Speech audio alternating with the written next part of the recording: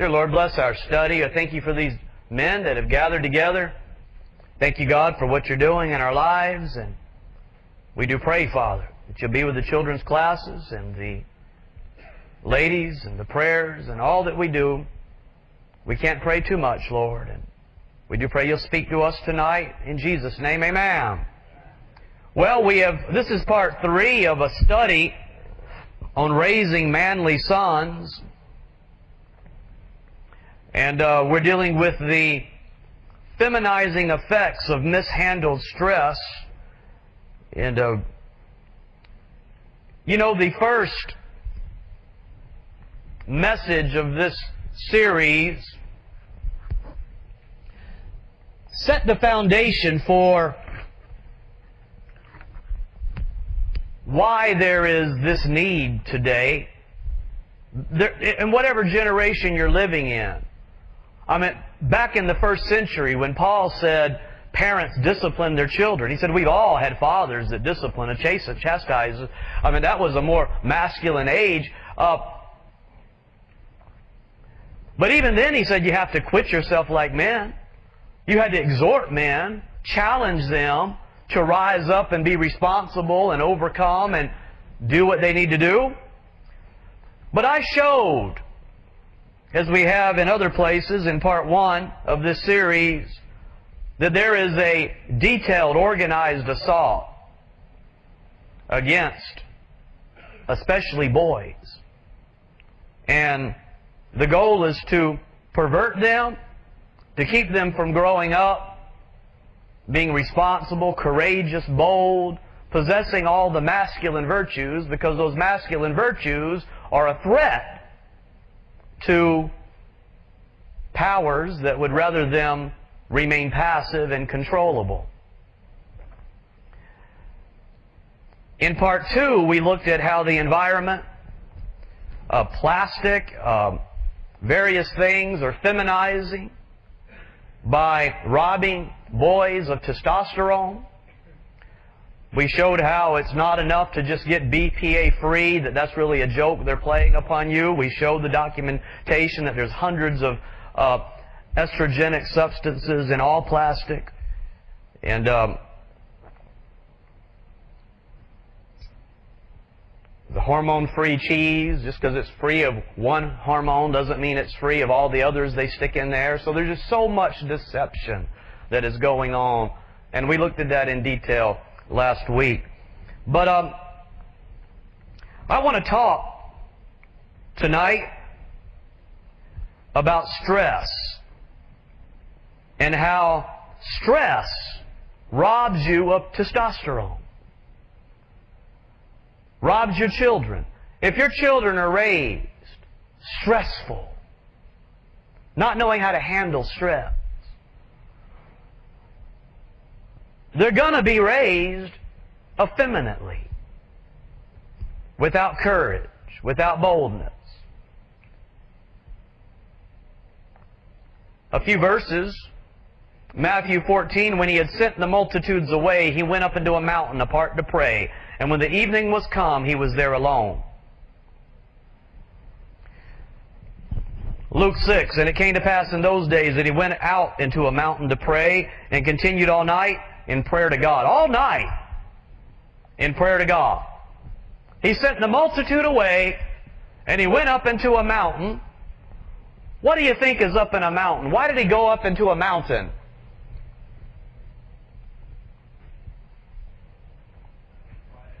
Quiet. What else? What's that? Fresh air. Amen. Probably always fresh back then to some degree. Away from the multitude, away from the cares of this life. Beautiful. Um, look at Luke chapter 8. And they came to him and awoke him, saying, Master, Master, we perish. And he said unto them, Where is your faith? They were in a state that they should not have been in as Christians. Stressed out. 1 Peter 5, casting how much of you care? All your care upon him. For he careth for you. It's good to know the Lord cares for us, isn't it?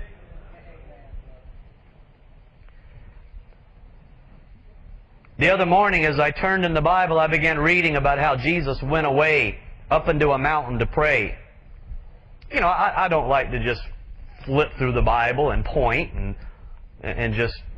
But, but nevertheless, I do know God can speak like that, can He not?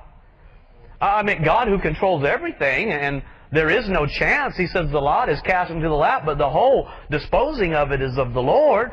Certainly the Lord's going to uh, control. I, I don't want you to just flip open and try to just connect letters and, and words that don't mean anything. You know what I mean? And, but at the same time, I do believe God directs you. And, and, and, as I looked at that verse and just began to see how he went up into a mountain, I thought of our vision for relocation and, and all of that. Uh, I certainly realize there's a time when you need to go and pray, but I felt there was something else that the Lord was showing me here. And I just thought about that. He went up into a mountain to pray. And I just thought about it, and I thought about it. And I said, Lord, something's here. I don't know what it is, but there's something here. You, you gave me that for a reason. It impacted me as I meditated upon it.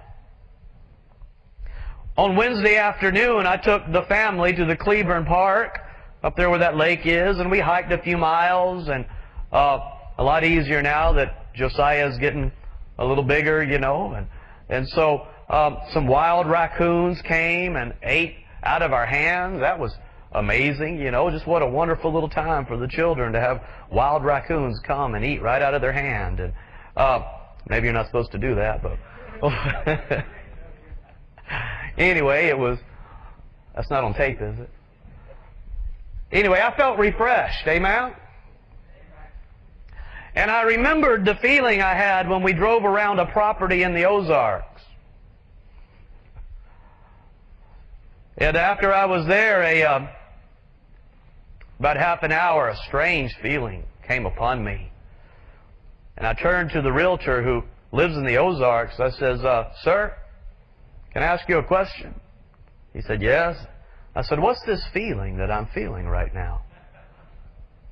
He said, that would be relaxation. I said, wow. That's strange.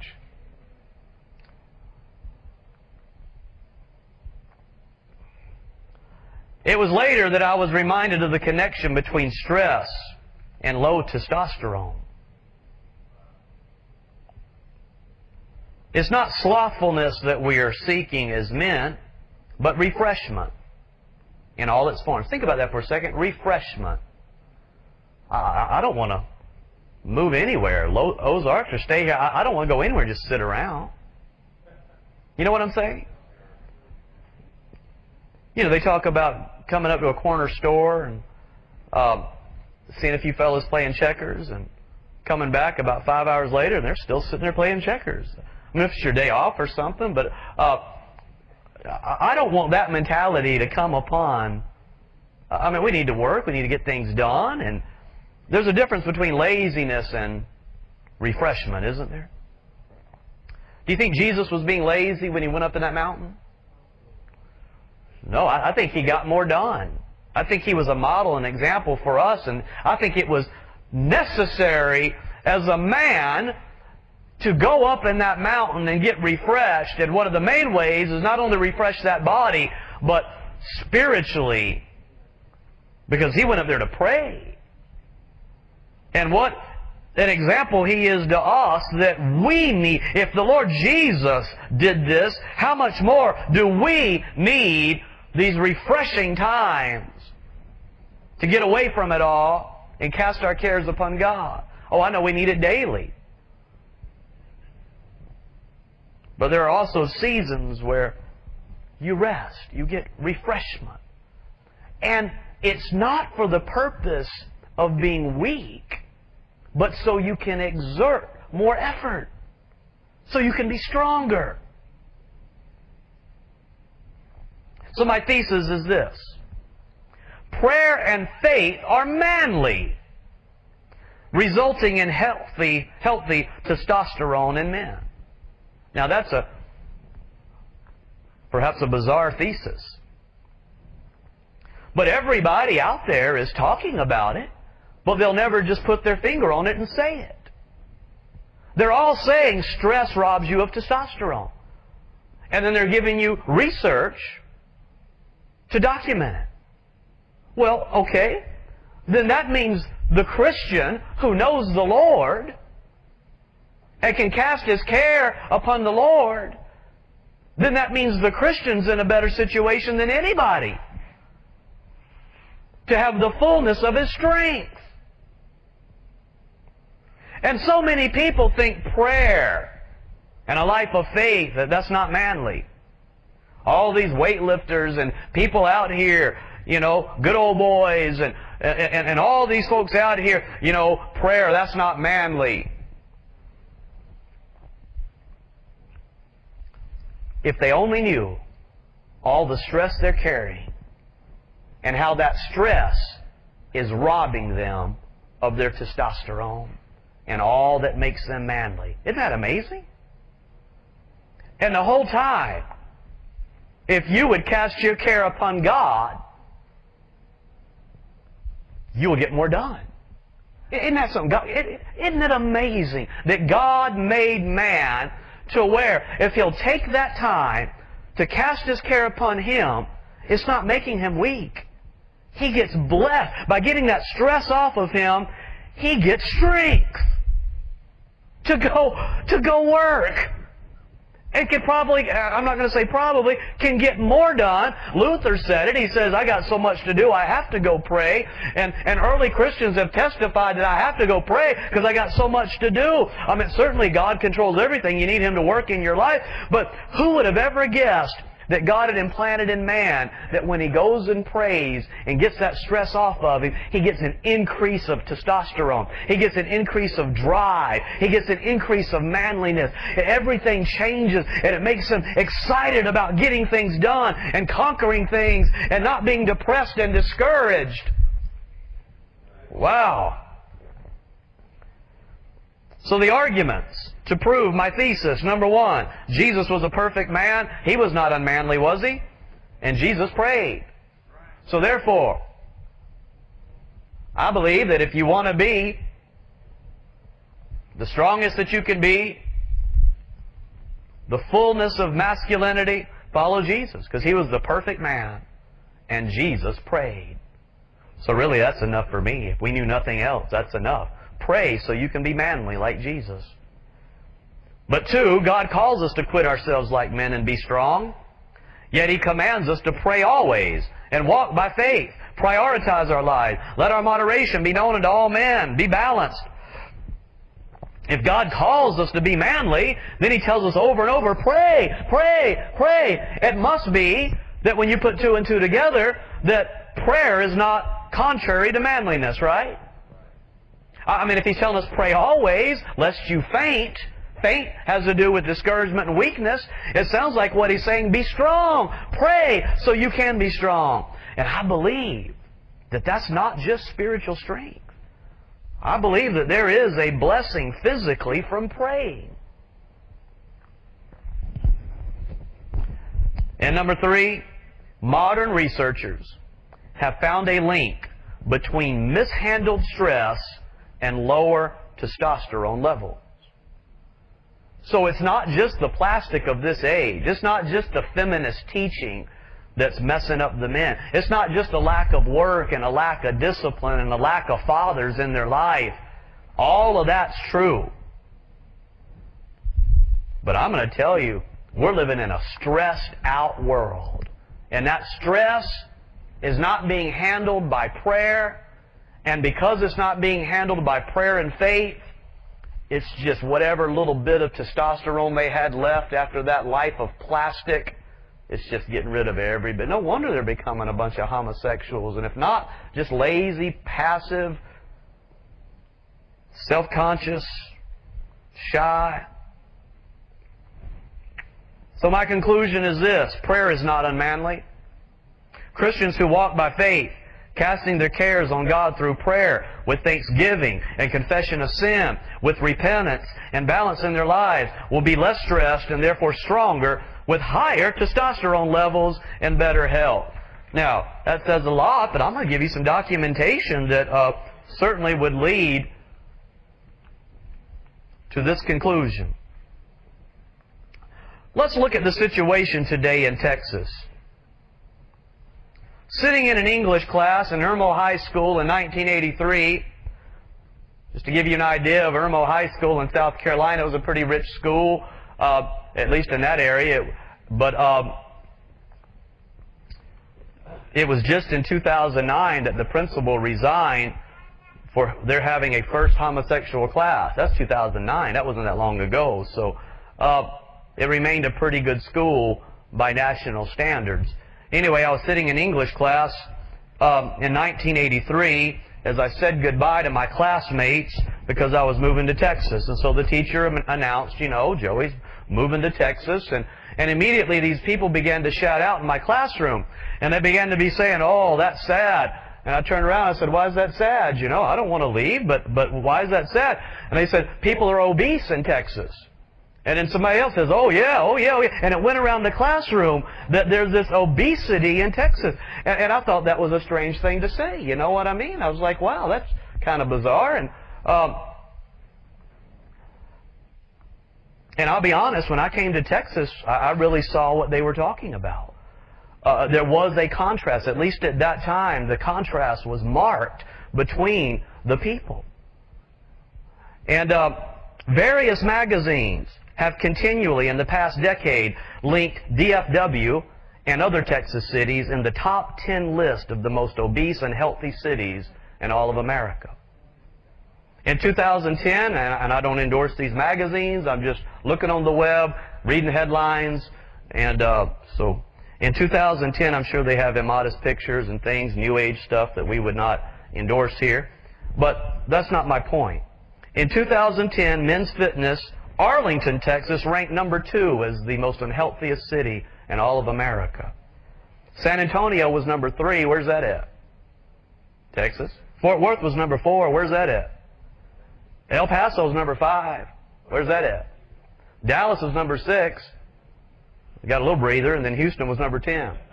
But every year, no matter which magazine does it, you get at least four or five Texas cities in the top 10, and they might drop down to like number 18 or whatever. And I'm not saying this is some type of scientific, uh, but nevertheless, here's what they're doing. They're counting the number of donut shops. And then they're looking at CDC statistics of, and that type of thing, and so they're getting a pretty good idea of you people are addicted to eating.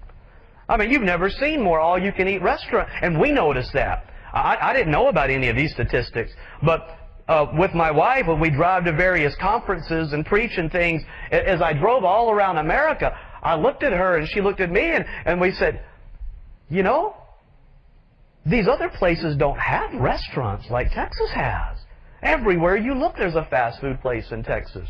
And uh, in 2009, Arlington was voted number one for the most fast food restaurants and donut shops in all of America.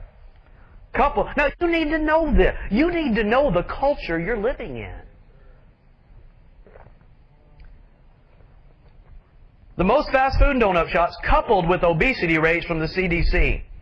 According to web reports, Jay Leno, a late-night television talk show host, called attention to Arlington's number one award. Not a very good award. To show that at least not everyone was out of shape and unhealthy in Arlington, it is reported that Leno, Leno interviewed Brian Dobson. Brian Dobson founded Metroflex Gym in Arlington in 1987 because he was frustrated with the commercialization of the fitness industry.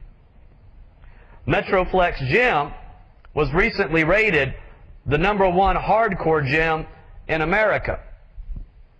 Dobson has won over 50 bodybuilding, strongman, powerlifting events, along with state and national records. He is world record holder in several categories of drug-free weightlifting. He's also known for his discovery and training of eight-time Mr. Olympia Ronnie Coleman and many others. Dobson uses Metroflex Gym to help people overcome addictions and to witness the message of Jesus Christ. He catches his own fish, hands them out to the homeless. And so by most standards, this is a pretty good fella. Amen? Uh, might have some positive thinking and other things that he doesn't know about, but nevertheless, uh, a good fellow. I was amazed at the severity and degree of training these men would do when I joined in the late 80s, just for health reasons, you know. Uh, not like I was a big bodybuilder or anything, but uh, I wanted to be in shape. I wanted to be healthy. And so uh, I remember Doc, uh, Mr. Dobson telling us one day that the body cannot endure this type of stress. Because you'd watch these men go in there and scream and holler and just, and there's no air conditioning and, and, and, and so they'd go in there and do all of these things and, you know, and as I was walking in and looking, it, it was amazing to me and he kind of shook his head and says, don't think that this is something that you can keep doing. And I said, well, what do you mean? You know, he's got all these trophies and pictures up on the wall. He says, the body can't handle it. And he says, so what happens is we've learned the hard way that over the long haul, your body begins to break down and you become old and it begins to eat your muscles. And it's called overstressing the body. Stress is known for lowering testosterone through the actions of cortisol. After researching this issue, I decided to ask Brian Dobson his views on the subject. He wrote me today and he says, Joey, cortisol to me is an enemy of anyone trying to get stronger and more muscular. Now you think about that for just a second, and I'll build on it. Big causes are overtraining, so you get cortisol from overtraining, not enough sleep, and what? Stress. Imagine that in 2012. Not enough quality food, etc. Testosterone helps build muscle and recover. As we age, we lose testosterone and gain estrogen. To get great results from your workout, you must prioritize hard training, serious rest and recuperation, physically and mentally, plenty of, plenty of quality nutrition, stay hardcore, God bless Brian Dobson. So becoming a world champion record holder in the deadlift may not be one of your goals. but we should desire to be strong as men, all of us, amen? So we can protect our families, do wholesome work, and walk in true manliness. We study the effects of plastic on testosterone levels, but chronic stress is also an enemy of a man's strength, his drive, and his rigor. As Bible-believing Christians, we are more equipped through prayer and faith, a balance, and diet to combat this chronic stress. We have many benefits that unbelievers do not possess and enjoy. So far, we're learning that Chronic stress zaps your testosterone, zaps your strength, makes you weaker. But we have benefits of the Lord, don't we? Hey, you know one of the places, one of your greatest sources of stress, you say it's my work, but hold on, that, that too. But one of your greatest sources of stress today is guilt. Guilt. Guilt. Most Americans are on antidepressants today because of guilt. Guilt brings stress. And what does stress do? Makes you weak, robs you of your testosterone. Now, we got benefits in the Lord, right? Psalms 103, Bless the Lord, O my soul. What does it tell you to do? Forget not all His benefits. What's the first one? Who forgiveth all thine iniquities. When you get saved, you get your sins forgiven eternally, but you got to daily get cleansing. Amen? So what happens if you walk around with that guilt? You're doing things you shouldn't do, and then instead of confessing it to the Lord and forsaking it, you just walk around with it. Hey, if you're not confessing your sins and getting them off of you through the blood of Christ, through prayer, I don't care how big and strong you think you are, I tell you what, it's robbing you. It's robbing you of your strength. Guilt will rob you of your strength. Who healeth all thy diseases. I think he puts those two together because when you walk around with guilt, what's it going to bring? It's going to bring physical problems who redeemeth thy life from destruction, who crowneth thee with loving kindness and tender mercies, who satisfieth thy mouth with good things, so that thy youth is renewed like the eagles. So he gives you good food to eat, tells you a biblical diet, uh, so you know how to eat right. And I tell you what, when you eat those foods that end up uh, blessing you, anti-inflammatory foods, the nourishment that's found in them, I tell you what, it's a good thing. Amen? You end up getting your guilt off of you. And so now you have that uh, cheerful spirit, stress-free living. You're eating right. And it says right here, your youth is renewed like the eagles. So certainly much of the chronic stress afflicting millions of Americans and robbing them of their manliness and strength is due to guilt from sin. sins of commission, and sins of omission. By trusting Christ, praying daily in faith, and confessing our sins and forsaking them, we may have our countenances lifted. As God promised Cain, He said, if you'll do what's right, you'll have your countenance lifted. There's much evidence that this life of faith also has physiological effects. It says in Proverbs 17, A merry heart doeth good like a medicine, but a broken spirit does what? Dryeth the bones. That's not sorrow because of your sin. Well, it could be a sorrow of unconfessed sin. A broken spirit, this depression that comes because you're walking around in guilt, it affects your bones. It makes your bones rot. Does that sound like you're strong if you got dry, brittle bones that break? That doesn't sound like you're very strong, does it? And the Bible says, a merry heart doeth good like a... So you know what weightlifters are doing around this country? They're trying to positive think themselves into a happy spirit. Is that going to work? No, because your conscience, no. You can tell yourself a million times, I'm beautiful, I'm wonderful, there is no problem. But you know what? Your conscience knows. So it's the Christian who confesses his sin that can have the greatest health and the greatest strength. Putting this all together, we can conclude that anything that robs us of true Christian joy, like sin, bad associations, dwelling on evil, walking by sight, and not praying, will also rob us of physical strength. Notice what I said. Anything that robs you of true Christian joy can also rob you of physical strength. Scientifically, it will increase cortisol, lower testosterone, and bring sorrow. And this is what they're discovering. All these researchers are discovering after all this time, they're realizing, wow, what we do with the mind affects our body in many ways. But the psychologists don't have an answer, do they? Oh, you better believe the pharmaceutical companies are trying to jump into this whole game, you know. But here's what they know. When you are walking with that guilt, your cortisol increases, your testosterone lowers, and it's going to lead to bad health and weakness. And what did Nehemiah tell us? It puts a whole new view upon neither be ye sorry, for the joy of the Lord is your strength. I know that spiritual strength, emotional strength. But what if physical strength is in there too? The joy of the Lord makes you strong. The joy, praying and confessing your sin puts testosterone in you or whatever else that the Lord does, and you end up physically stronger than you would have been. Notice the following research in light of all of this.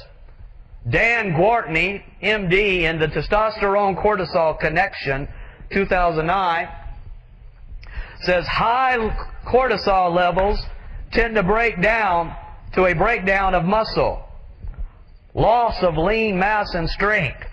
Okay? That's why Brian Donovan said it is an enemy. Exercise, when performed as a suitable intensity, at a suitable intensity and volume, can increase the anabolic stimulus, resulting in stronger and larger muscles. However, as many have discovered the hard way, exercising to excess can result in a weakened catabolic state known as the overtraining syndrome. Numerous examples exist in the scientific literature confirming the moderate volume, high intensity training can increase testosterone, resulting in improved exercise performance. Persisting in the overtrained state often leads to impaired long-term performance. Now, what are you doing? What are you bringing? When you exercise, you get stressed, right? But if you overdo it, then you're leading to chronic stress, and you're getting the same situation you'd have if you got a credit card or whatever else and you're in debt. You just have that stress that's upon you. And persisting in this overtrained state leads to impaired long-term performance muscle loss, and decreased mental function. It even affects your mind. The body appears to be able to recover from excess exercise with what? Rest. As people grow older, testosterone levels fall, and cortisol levels rise. Clearly, there are many physical consequences when cortisol levels are high, especially in the setting of low testosterone. Secondarily, there also appears to be negative mental effects to having high cortisol levels. Severe depression is associated with high cortisol levels. High cortisol levels interfere with information processing, making it more difficult to think or make decisions. High levels of stress hormone cortisol play a critical role in blocking testosterone's influence on competition and domination. This is from University of Texas Education 2010. High levels of stress hormone cortisol play a critical role in blocking testosterone's influence on competition and domination. The study led by Robert Joseph, the University of Texas at Austin, is the first to show that the two hormones, testosterone and cortisol, jointly regulate dominance. The findings available online in Hormones and Behavior show that when cortisol, a hormone released in the body in response to threat, increases, the body is mobilized to escape danger rather than respond to any influence that testosterone is having on behavior. Among those who lost in these games they set up, 100% of the subjects with high testosterone and low cortisol requested a rematch to capture their lost status. However, 100% of participants with high testosterone and high cortisol declined to compete again. According to research, chronically elevated cortisol levels can impair fertility by inhibiting testosterone production in men. In women, chronically high levels of cortisol can produce severe fertility problems and result in an abnormal cycle. These effects of cortisol in both men and women are reversed when stress levels go down. What they're saying is this. Stress that's not handled right, that is repeated and continued for a long time, raises these cortisol levels and it leads to all types of complications. And uh, that's what they believe is going on physiologically. I read this book, The Cortisol Connection. It looks like there's a lot here, but you ought to see how much I deleted from the book to give you just the um, basics of the book, The Cortisol Connection. Uh, our bodies, including our nervous systems and endocrine hormonal systems, were simply not meant for the unique stresses that we face as part of our everyday life in the 21st century. Now, you go back, they had a hard time. There was martyrdoms, I meant all kinds of things going on. But there's some strange, just differences today uh, in this modern life, taking man away from the way that God designed him to live in so many ways uh, is destroying man. Uh, the series of daily events that I refer to as the 21st century syndrome leads most of us to experience a state of perpetual stress, that familiar feeling of always being on and rushed and harried and frantic. Depression and anxiety in our society is now 10 times higher than it was just a generation ago. In one study conducted by researchers at Carnegie Mellon University in Pittsburgh, individuals with higher levels of money stress had higher cortisol levels. If we experience stressful events on a regular basis or unable, are unable to effectively rid ourselves of the stressor, our cortisol or hydrocortisone levels stay constantly elevated above normal levels. So you got this fight or flight mode that is cortisol in your body uh, with adrenaline.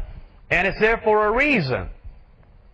But when it stays up, then it destroys the body and robs the muscles and begins to drain the body.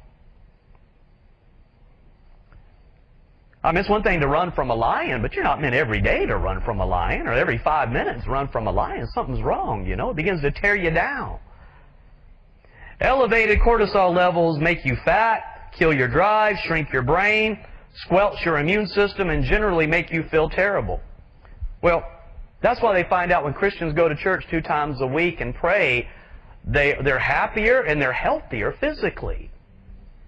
A lot of it could be you got these cortisol levels that are constantly in you that aren't being dealt with, and it's destroying people. Cortisol is not a purely toxic substance. You know, there's obviously a reason for it. Although in most cases, too much of it certainly wreaks havoc, bodily havoc. The whole point here is balance.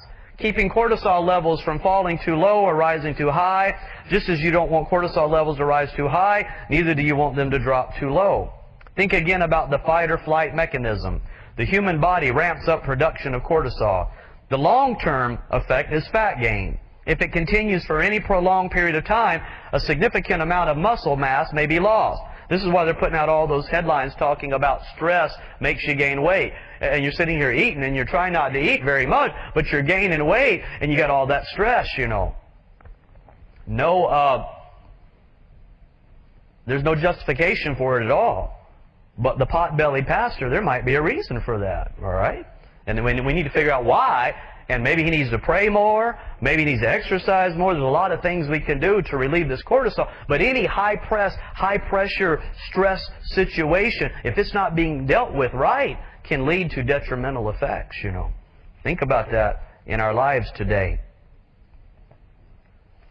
Scientific, oh, if it continues for any pro prolonged period of time, a significant amount of muscle mass may be lost. So if you say, I won't fight or flight, no, it's going to begin to steal from your muscles. And, and uh, Scientific research and medical evidence clearly show that a sustained high level of cortisol triggered by chronic unrelenting stress results in an increase in appetite and cravings for certain foods. You feel hungry almost all the time. A powerful synthetic form of cortisol is used as a drug, uh, prednisone, etc., with bad effects in the long term. So imagine putting this stuff into your body.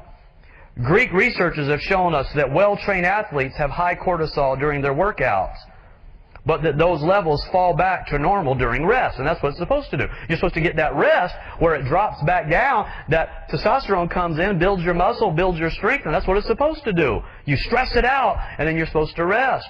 But overtrained athletes who are overstressed, on the other hand, have low levels of cortisol during exercise, but high levels during their rest, indicating that their bodies are still under that stress, perhaps from injury or infection or inadequate recovery from adaptation to training. They also experience fatigue. We do not want cortisol to be chronically anything, high or low or medium, but rather we want cortisol flux. We want a highly responsive, finely tuned pattern of cortisol activity, where levels do not remain moderate, but they actually go up during exercise or important deadlines and fall during rest and recovery. Rest and recovery, that's what we need. Even Jesus left the multitude. He left some people that needed to be healed. You know that? He left them all and went up in that mountain and prayed. When the brain perceives a stressful event, it responds by stimulating endocrine glands throughout the body to release hormones, including both adrenaline and cortisol. Adrenaline is responsible for the up feeling that causes excitement, while cortisol is responsible for modulating the way our bodies use various fuel sources. Cortisol increases levels of blood sugar or glucose. So it puts that sugar so you can take off running and get out of there.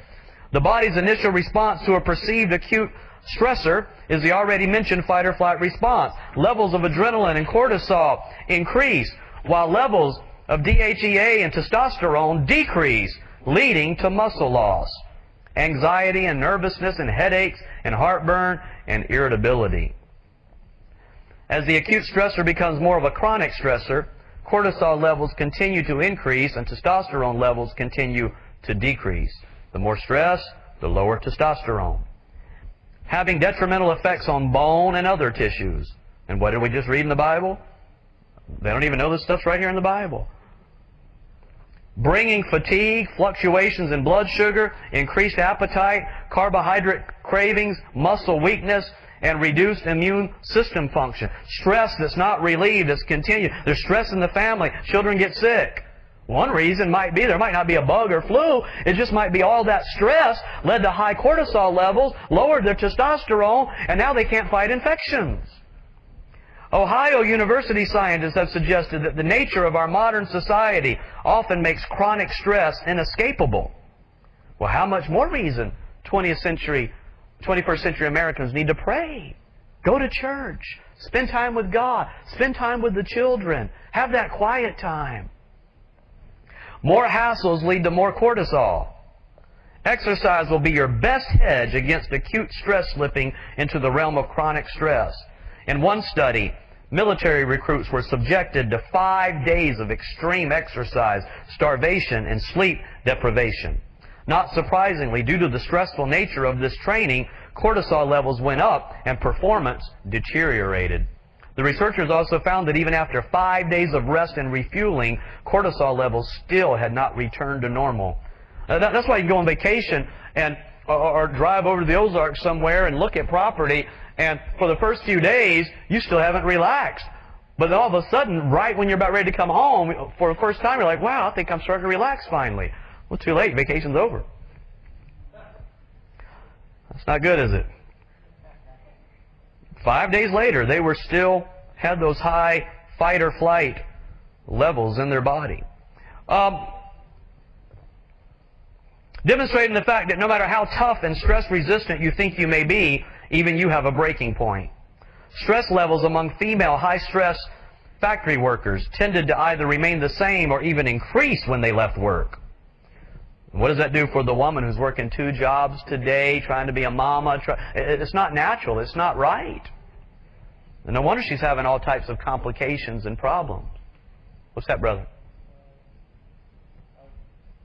I don't really want to be mean, but we have a lady of work. She's the only female that works there, and it's a it's a very stressful situation. And she just went crazy. She came into work and lost it, uh, like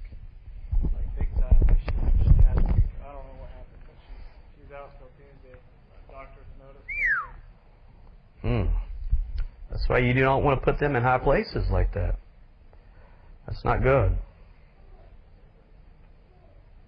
A phenomenon known as overtraining has been linked to chronic cortisol exposure. For those who missed it, stress makes cortisol levels go up. In fight or flight situations, cortisol secretion releases amino acids from your muscle, glucose from your liver, and fatty acids from your tissue into the bloodstream for use as energy.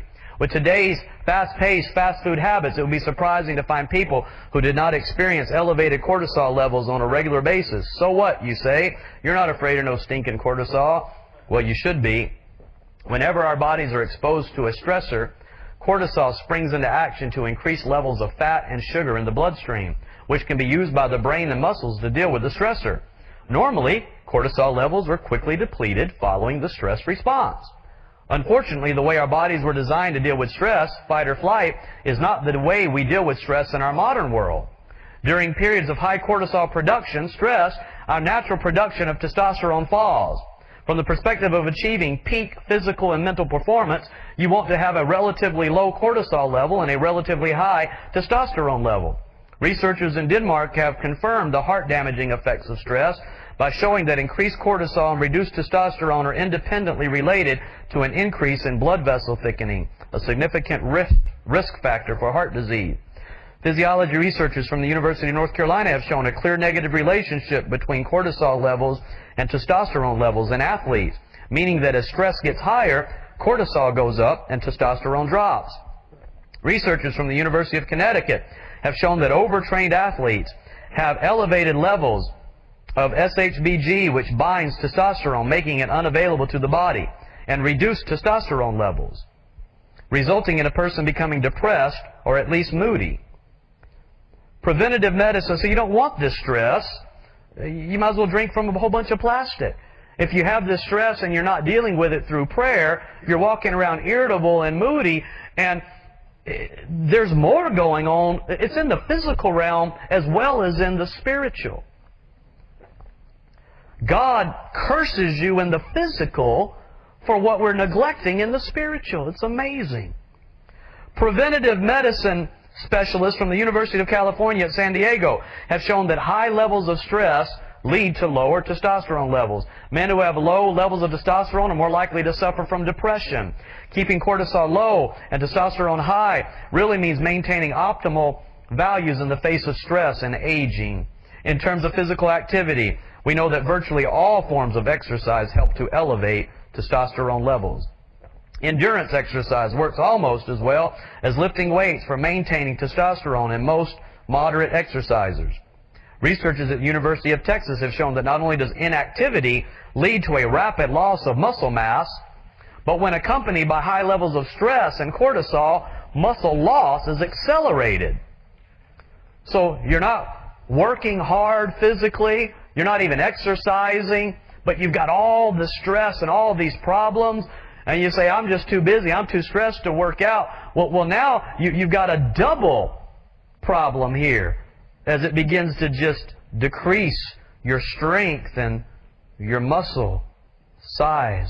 Researchers from the University of Connecticut's Human Performance Laboratory demonstrated that cortisol levels were increased by dehydration.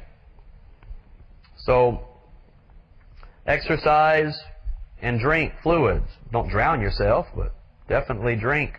You're made to drink. Finally, stress researchers from around the world have shown that how we perceive and cope with a given stressor can deter- don't drink fluoride. Don't drink BPA water, but nevertheless, let's drink and wash away toxins. How we perceive and cope with a given stressor can determine our hormonal response to that stressor. This means you can be exposed to stress and deal with it appropriately, resulting in only a temporary healthy rise in cortisol levels. That's how it's supposed to be. However, if the stress is dealt with inappropriately, your cortisol levels rise and testosterone levels fall. More important than winning or losing is the coping pattern you display. So you teach these children, relating this to young, you get out here and you get a kickball game, and all of a sudden one little boy, he's not even over there, he's not a team player. Everybody went out to play kickball, but he's over there uh, throwing rocks at a tree. It's like, what are you doing, boy? You know, teach him how to be a team player. Everybody came out to play kickball. Come play kickball. And but then he gets over here and he's playing kickball and he loses. So now he's whining and he's over here by the tree sulking and he's upset and he has this high stress. Some of them turn red and get angry. Teaching them how to deal. Sure, we want to win. That's great. But more importantly, we want to teach you how to be a godly person and how to deal with things and how to deal with the stress of losing. That's part of life. But if you're not going to deal with the stress of losing, you're not going to cope, you're going to end up losing your testosterone. Which is why the classic effeminate person gets upset when he loses. If he doesn't get chosen, he whines. If his children don't get chosen, he throws a fit. He whines. And they're effeminate people. They're lacking in testosterone, you see. And it's physiological because they don't deal with stress right, it robs them and makes them womanly. So now you know a bit about how chronic stress leads to elevated cortisol and reduced testosterone levels in the body. Stress makes you burn fewer calories and consume more food, especially carbohydrates. Results from animal studies, Department of Neurosciences New Jersey Medical School, showed that even moderate levels of daily unpredictable stress over the course of five weeks led to increased levels of cortisol and increased appetite. Researchers at the University of Colorado have shown that athletes performing too much exercise, overtrained cross-country skiers, for example, experience the very same adverse effects of elevated cortisol levels, such as mood disturbances, immune system suppression. A particular interest in this study was the finding that the athletes who were working out the most, those putting in the highest mileage and the longest training time, were also the ones with the highest cortisol levels, the highest body fat levels, and more depression. Insomnia and fatigue often combine with each other in a vicious cycle. This is not to say that aerobic exercise such as jogging or cycling is bad for you. It emphasizes the fact that extremes of exercise with inadequate recovery are perceived by the body as stressors. Swedish researchers have found chronic stress to increase the occurrence of yeast infection and other infections a consequence likely to, so, so how many women are getting uh, affected? How many men are getting infected? How many children are getting physical problems? And it's stress related. It's stress. The very fact, oh sure, there's all kinds of things in the air all the time. But stress, there's no prayer in the home. There's no singing. There's no family. How was your day? Hearts turning to the children of, of the father. There's, there's yelling. There's bad attitudes. There's whining and, and talking about people behind their back. You got a high stress home. Yelling at the children in rude ways, and, and there's never talking to them in, in good way. And so there's this high stress. Then all of a sudden, an infection comes by, and your children succumb to it. And you look for somebody to blame. But maybe it's the stress situation of your own home.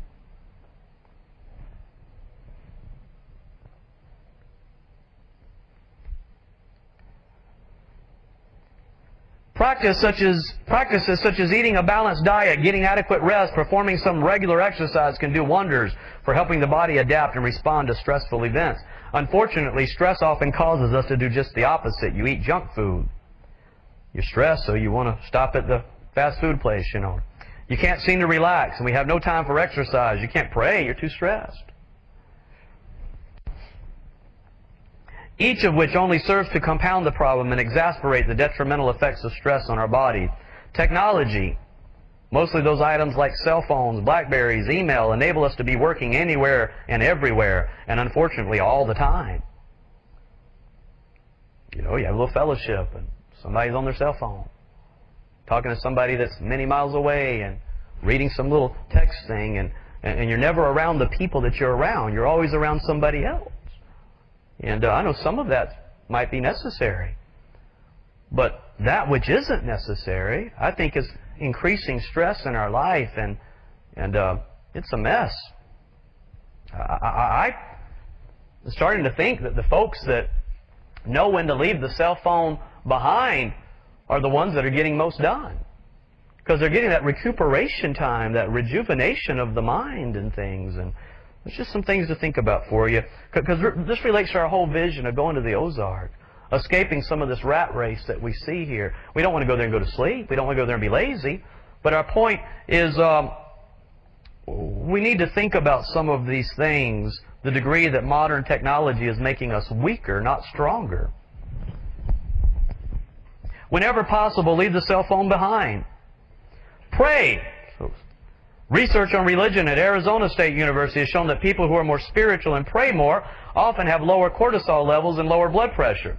Stress researchers in Arizona have shown that being more fit is protective against stress and against the age-related rise in cortisol levels. Now, in looking at all of this, my first question was, well, there you go. If stress that is not dealt with properly if you are kept in a constant fight or flight mode, raises cortisol, lowering testosterone, then what about people that suck down caffeine all day? They're getting a constant adrenal response, which means they're getting a constant rise in cortisol to keep them in that fight or flight mode, which they're getting high off of, but it's really stressing them out, and it's lowering their testosterone. They have no drive to do anything without the caffeine because the only way they know how to get anything done is fight or flight cortisol, not testosterone because they don't have any. They depleted all their testosterone. And so he does go on to say, as little as two to three cups of coffee will elevate cortisol levels. Well, of course. If anything you said's true, then, then this has to be. Caffeine is effeminate. See, I like to, I like to put what they're afraid to say, I like to just go ahead and say. Caffeine makes you effeminate. So, well, I need it to get dry. Well, you're supposed to get dry from being a man. You're supposed to go out and get things done and conquer and take care of things. You're supposed to get that from being a man. So I don't have any of that left. So I have to use caffeine. Well, that's going to just destroy what's left of your body and, and, and manliness that's already destroyed.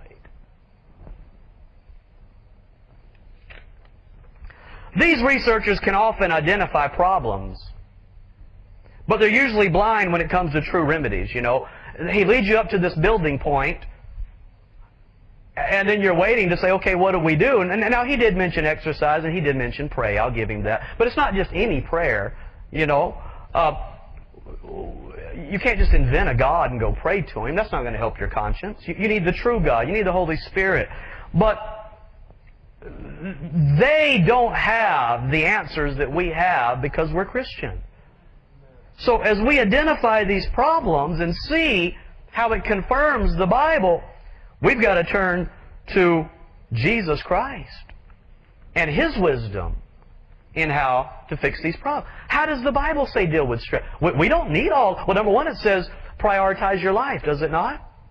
Have your work in the right place. Have your family in the right place. Have your church in the right place. You don't want stress from any sides. You know what I mean? Try, try to get everything balanced.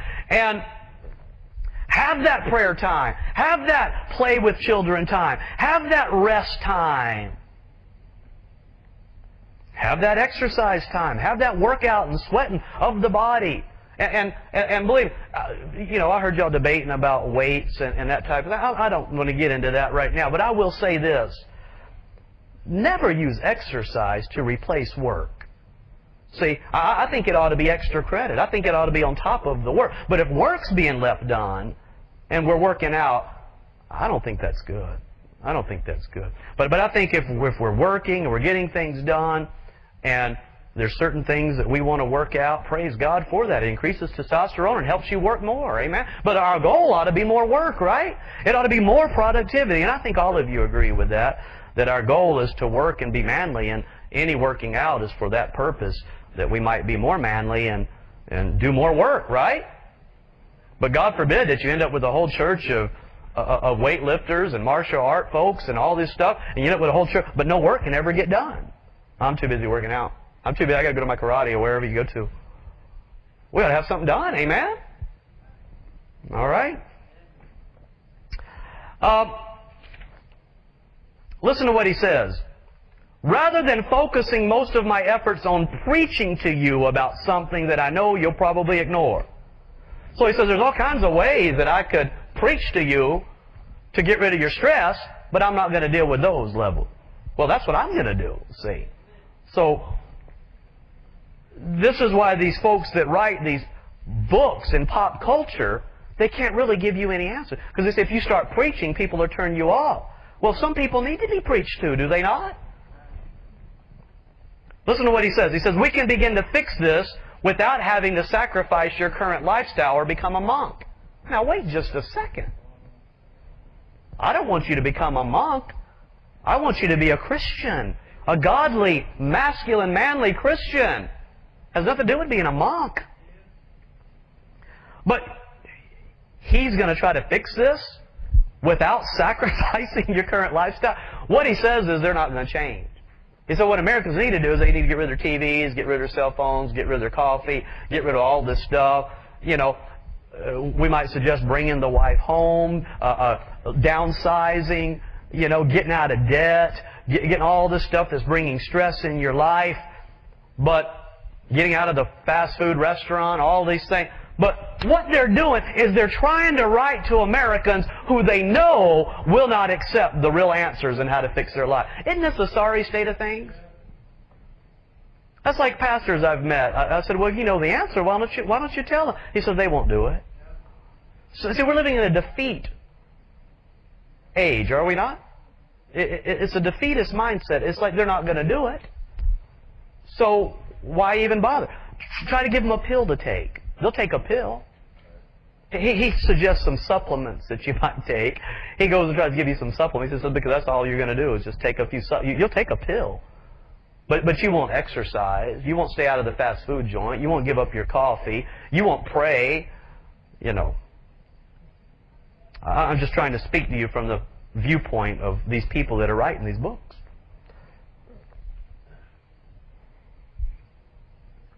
And probably if, if he was sitting here talking to me, he, he would say, well, after all these years of preaching, how many, how many folks have you got to pray? How many folks show up for prayer, prayer meeting at your church? You know. How many, except, how many folks stay out of the fast food restaurant? You've been preaching all these years. You know. You're known as a health food pastor. How many folks in your church do you have? You know, and, and there is some truth to what Jeremiah says when God tells him, He says, tell them, call them to the old path, call them to change and amend their way. But the people said, we would not. We will not. But God wanted to give you rest. He had the answer for you. He wanted to give you refreshment and blessing and healing and strength and everything you need. But the people said, no, no thank you. In conclusion, we see that chronic stress, stress that continues and is not handled properly, lowers testosterone. As we evaluate our prayer lives and our state of faith, we should also examine the degree that bad music is robbing us of strength. This is what I this is how my mind works. I sit down and I say, now okay, let me sit here for a second and let me think. High stress is leading to lower testosterone, lower drive, lower strength, high cortisol levels. If I don't pray, I'm going to have stress. so I'm going to be weaker as a man. I'm going to get less done. Not only I'm not going to have God's help, you know what I mean? It, you're not just praying as a exercise. It's a real God, a real Lord, a real person you're praying to. But then I start thinking this way. What about those stresses in our life that don't have to be there? That people are putting in their lives, like bad music. So they're walking around in a state of high stress from movies and music and soundtracks and things. What is that doing? I believe it's decreasing our strength and raising cortisol levels. So I begin to look around and here's Roger W. Wicke, PhD, Herbalist Review, 2002, Effects of Music and Sound on Human Health. He says, uh, this is some interesting stuff. He says, Oswald Spengler, in his history text Decline of the West, devoted several chapters to the role of art. Y'all still awake? Several chapters to the role of art and music in the stability of civilizations. He predicted that based on the popularity of extreme romanticism and excessive sentimentality, that's what happened in the late 1800s, dissonance and 12-tone compositional styles in music of the early 20th century Europe, Western civilization was fated to decline, even as its technical and scientific wizardry promised great wonders. So this fella decided that based on the music that we finally reached the decline of our civilization. One can only surmise that had Spengler lived to witness punk rock, heavy metal, techno, and rap music in the context of late 20th century America, he would have become even more convinced of his theory's correctness. And, I was really shocked to begin to read these heavy metal writer, uh, singers and, and, and have them begin to say the heart of heavy metal music is bisexuality. I was in shock. I'm like, what? All that aggression and everything, and the heart of it is homosexuality? What in the world's going on here? People living in modern industrialized nations have learned through painful experience that many of the wonders of technology have deadly side effects. Plastics that promise to make our lives convenient are now recognized to be a major source of potent and dangerous hormone disrupting chemicals. Excessive television viewing is now being recognized as a factor in learning and behavior disorders in children. You know, it's all coming out physiologically. It's all coming out in these studies. A television disrupts their mind, disrupts their brain, slows their speech, etc. I've documented all of that for you. But here's what he asked. Could it be possible that just this plastic we thought was great, but it ends up messing you up? TV you thought was this great, wonderful thing, and it robs your children of being able to speak, being able to think? Could it be that music modern music that we think is so wonderful is actually having some detrimental effects? Could it be possible that music, which many of us take for granted as benign background noise, could have unrecognized effects, both harmful and beneficial?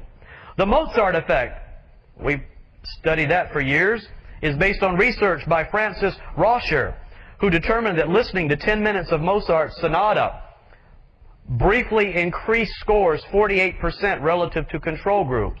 And Mozart was a step out of Baroque into classical, and they're still getting good results from it, you know. Once you take the next step into Romanticism, then you're in a mess, you know. It's hard for me to even listen to it. Other researchers have demonstrated that compositions of other classical composers, such as Bach, show similar benefits. Of course they do. Bulgarian psychologist Lozanov found that playing Baroque instrumental music, such as that of Handel and Bach, in the background while teaching foreign language vocabulary greatly increased students' speed of learning and degree of memory. Physicist Harvey Bird and neurobiologist Schreckenberg subjected different groups of mice to the sound of traditional voodoo drumming, to Strauss waltzes, and to silence, and then tested each group's ability to navigate through a maze to get food. All music was played continuously at low volumes to eliminate possible behavioral effects from loud sounds generally. So they wanted just the music, not the loud sound. The voodoo group performed progressively worse over the period of time they were exposed to the music and eventually became so disoriented that they became unable to complete the maze at all. These mice were also hyperactive and aggressive, often engaging in cannibalistic behavior. Well, that sure sounds like where our society is, isn't it? I mean, they might not be eating one. Well, well, some of them are. But everybody might not be succumbing to cannibalism, but you have disordered chaos, do you not? One also might wonder whether certain types of agitating music, such as rock or heavy metal, may induce excessive cortisol over extended periods of time and become addictive, like caffeine. In a similar manner to the adrenal rush one gets from coffee. There it is. Mozart's music, Sonata for Two Pianos, has been shown to reduce total seizure activity in epileptic patients by 65%. So, I think what they're discovering is music matters. Music affects your body. Music affects your strength. And, you know, I walk, I, I had to leave a gym. You know, not only are gyms immodest and, uh, uh, and that type of thing, but the music that they play is so against anything related to strength, you know. It, it's just the opposite of strength. And uh, once you understand these things and you go there and you're trying to do strength training or something and they're playing that stuff, it, it's just, uh, I don't know how they do it. They, they must just numb their minds to it. Norman M. Weinberger in the musical hormone says hormonal control by music seems clear. So you're definitely getting a, a, a, reaction in your hormones from the type of music you listen to. Although one might not want to consider whether they are overdosing on cortisol, it might be prudent to give this some serious thought. In other words, the music is disordering you, placing you in a fight or flight mode, just like coffee does. And you think, but it's, but it's generating, it, you know, I'm getting things accomplished. It's motivating me. Yeah, motivating you like coffee, but not motivating you like testosterone motivates you, not motivating you the way you need to be motivated. So, these are things to consider. My ultimate verse for you is Philippians chapter 4. Be careful for what? Be careful for nothing. But in everything, by prayer and supplication, that's where you cry out to God, with what? Thanksgiving. Let your requests be made known unto God. And he goes on to tell you, think upon those things that are true. Think upon those things that are praiseworthy. Surround yourself with those. And he says, a peace of God will come upon you, which passeth all understanding. It'll keep your hearts and your minds. And, oh, I have to believe that even though God may not mention it right there, I have to believe that God also sends you strength to your body because it says, A merry heart doeth good like a medicine, but a broken spirit drieth the bones. The man who prays regularly calls out to God, reminding himself of all that he has to be thankful and tells God what he's thankful for. Just the stress, God, it's not my problem, it's yours. Forgive me of my sins. Forgive me for the mess I've made. Whatever you've done wrong, tell God about it and forsake it. Confess it to Him. If you've been foolish, don't try to cover it up. Don't try to make excuses. Don't try to justify yourself. Uh, don't try to get out of it. Uh, tell God plainly what you did wrong. Come clean with Him because He knows anyway. And the sooner you tell Him, the better. And go to God, confess your sin, give Him that thanksgiving, and ask God to help your situation. It's not a waste of time. The wicked say it's vain to pray, but as a Bible believing Christian, we have to believe it's not vain. It does profit to pray unto God. And I'm just telling you today, I've preached this for years. All I'm adding to it is simply, not only will it bless you spiritually and emotionally and it'll get things accomplished for you to go to God, I'm just adding to it. It'll make you strong. So really, when we go back to thinking about this, Praise God for hard work. Praise God for working out with weights and all you do. But if you want increased testosterone levels, then get down on your knees and pray and get rid of some of that cortisol that's in your life and increase that testosterone. And I bet you you'll get up with some drive and get some things done. That's what I think. Amen? So if we're going to raise manly sons, the conclusion of the matter is, let's teach them, teach them how to deal with stress, how to come clean with God, how to pray daily, and how to give everything to the Lord regularly and casting that care upon Him. And um, not only that, listening to good music, quality, good, godly music, not surrounding their lives with video games and that high stress that's in all of that, and and all that television watching and soundtracks of explosions so they can keep you glued to the television, which no wonder these children are so messed up, losing all their testosterone every time they sit and watch one of those things, you know? All right, I'm done. Any comments? Questions?